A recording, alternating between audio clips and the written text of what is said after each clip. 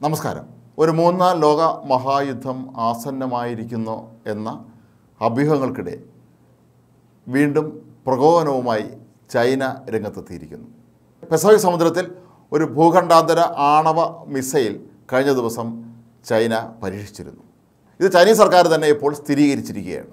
പതിറ്റാണ്ടുകൾക്ക് ശേഷമാണ് ചൈന ഇത്തരമൊരു മിസൈൽ പരീക്ഷണം നടത്തുന്നത്. പെസഫിക് മേഖലയെക്കുറിച്ച് അമേരിക്കയുമായി അവകാശ തർക്കങ്ങൾ നടത്തുന്ന സമയത്താണ് ചൈന ഈ ഒരു അസാധാരണ നടപടിക്ക് ഒരുങ്ങുന്നത് എന്നുള്ളതാണ് ഇതിന്റെ പ്രാധാന്യം വർദ്ധിപ്പിക്കുന്നത്. പസഫിക് സമുദ്രത്തിലെ ലക്ഷ്യസ്ഥാനത്തേക്കാണ് ഈ മിസൈൽ കൃത്യമായി പതിച്ചത് എന്നാണ് ചൈനീസ് അധികൃതർ വ്യക്തമാക്കിയിരിക്കുന്നത്.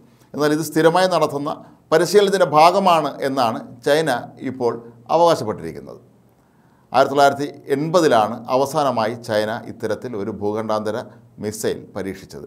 തികച്ചും അപ്രതീക്ഷിതമായി ചെയ്ത ഈ നടപടിയിൽ മേഖലയിലെ പല രാജ്യങ്ങളും പ്രതിഷേധം രേഖപ്പെടുത്തിയിട്ടുണ്ട്. ജപ്പാൻ സർക്കാരാണ് ആദ്യം ഇക്കാര്യത്തിൽ പ്രതികരണം അറിയിച്ചത്. യാതൊരു തരത്തിലുമുള്ള മുന്നറിയിപ്പുകൾ നൽകാതെയാണ് ചൈന ഇത്തരത്തിലുള്ള ഒരു വൻ മിസൈൽ പരീക്ഷണം നടത്തിയത് എന്ന് ജപ്പാന്റെ ഔദ്യോഗിക വക്താവ് കുറ്റപ്പെടുത്തി. ന്യൂസിലൻഡും ചൈനയുടെ ഈ നീക്കത്തെ ശക്തമായ ഭാഷയിൽ തന്നെ അപലപിച്ചിട്ടുണ്ട്.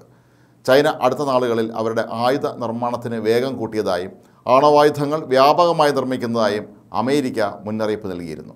ചൈനയുടെ കൈവശം രണ്ടായിരത്തി ഇരുപത്തി മൂന്ന് അതായത് കഴിഞ്ഞ വർഷം മെയ് മാസത്തിൽ അഞ്ഞൂറോളം ആണവായുധങ്ങൾ ഉണ്ടായിരുന്നു എന്നും രണ്ടായിരത്തി മുപ്പതോടെ ഇതിന്റെ എണ്ണം ആയിരമായി വർദ്ധിക്കും എന്നുമാണ് പറയപ്പെടുന്നത്. ചൈന ഭരിക്കുന്ന ചൈനീസ് കമ്മ്യൂണിസ്റ്റ് പാർട്ടിയുടെ നേരിട്ടുള്ള നിയന്ത്രണത്തിലാണ് പീപ്പിൾസ് ലിബറേഷൻ ആർമി പ്രവർത്തിക്കുന്നത്. ചൈനയുടെ ബഹിരാകാശ പദ്ധതികളുടെ ചുമതലയും ഇവർക്ക് തന്നെയാണ്. ചൊവ്വാഗ്രഹത്തിൽ ഇവരുടെ ഒരു ബഹിരാകാശ പേടകം ഇറക്കാൻ കഴിഞ്ഞതും ചന്ദ്രനിൽ ബഹിരാകാശ നിലയം സ്ഥാപിക്കാൻ കഴിഞ്ഞതുമൊക്കെ വലിയ നേട്ടമായിട്ടാണ് ചൈന കണക്കാക്കുന്നത്. ബഹിരാകാശ മേഖലയിൽ നിന്ന് ചൈന വൻതോതിലുള്ള സാമ്പത്തിക നേട്ടവുമാണ് ഓരോ വർഷവും നേടിക്കൊണ്ടിരിക്കുന്നത്. കഴിഞ്ഞ വർഷം നവംബറിൽ ആണവായുധങ്ങൾ നിയന്ത്രിക്കുന്നത് സംബന്ധിച്ച് ചൈനയും അമേരിക്കയും തമ്മിൽ ചർച്ചകൾ നടന്നിരുന്നു. എന്നാൽ കഴിഞ്ഞ ജൂലൈയിൽ അമേരിക്കയുമായി ഇക്കാര്യത്തിൽ ഇനി യാതൊരു തരത്തിലുമുള്ള ചർച്ചകൾ ഉദ്ദേശിക്കുന്നില്ല എന്ന് ചൈന പ്രഖ്യാപിച്ചിരുന്നു. അമേരിക്ക തെയ്വാന് ആയുധങ്ങൾ നൽകിയതാണ് ചൈനയെ പ്രകോപിപ്പിക്കാൻ കാരണമായത്.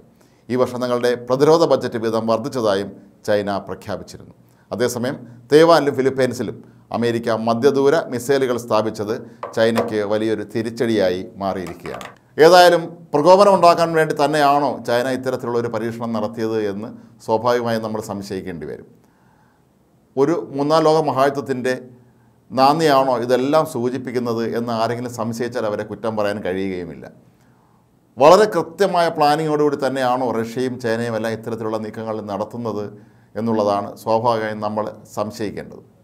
നാറ്റോ രാജ്യങ്ങളാകട്ടെ ഒരു മൂന്നാം ലോക മഹായുദ്ധം ഉണ്ടായാൽ അതിനെ നേരിടാനുള്ള തയ്യാറെടുപ്പുകൾ ഇപ്പോഴേ ആരംഭിക്കുമ്പോൾ ഒരുപക്ഷെ എങ്ങനെ ആ രാജ്യങ്ങളിലേക്ക് മിസൈൽ അയക്കാൻ കഴിയും ആണോ മിസൈൽ അയക്കാൻ കഴിയും എന്നുള്ള കാര്യമാണ് ഇപ്പോൾ ചൈന പരീക്ഷിക്കുന്നത്.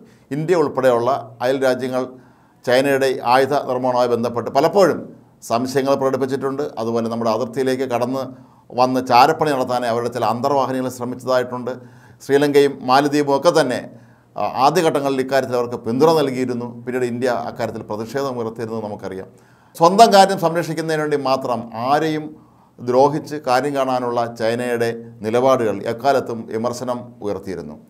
ഇത്തവണയും അതുതന്നെയായിരിക്കാം ഒരുപക്ഷെ അവർ ഉദ്ദേശിക്കുന്നത്. ഇത്തരത്തിലൊരു ഭൂഖണ്ഡാന്തര ആണവ മിസൈൽ വിജയകരമായി പരീക്ഷിക്കുക അത് രക്ഷാസ്ഥാനത്ത് തന്നെ എത്തുക എന്നുള്ള പറയുന്നത് ചൈനയെ സംബന്ധിച്ച് അഭിമാനകരമായ നേട്ടമാണെങ്കിലും മറ്റു രാജ്യങ്ങൾക്ക് ഇതൊരു ഭീഷണി തന്നെയാണ്.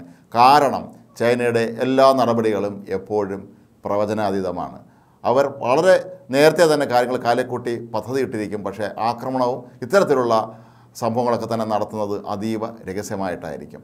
അത് ഇന്ത്യക്കും അക്കാര്യത്തിൽ പഴയ ചില അനുഭവങ്ങളുള്ളതാണ്. അതുകൊണ്ട് തന്നെ ചൈന നടത്തുന്ന ഈ നീക്കങ്ങളെ അതിശക്തമായ രീതിയിൽ തന്നെ നേരിടാനായിരിക്കും ഒരുപക്ഷെ ജപ്പാനും അമേരിക്കയെല്ലാം ഉൾപ്പെടുന്ന രാജ്യങ്ങൾ ശ്രമിക്കുക.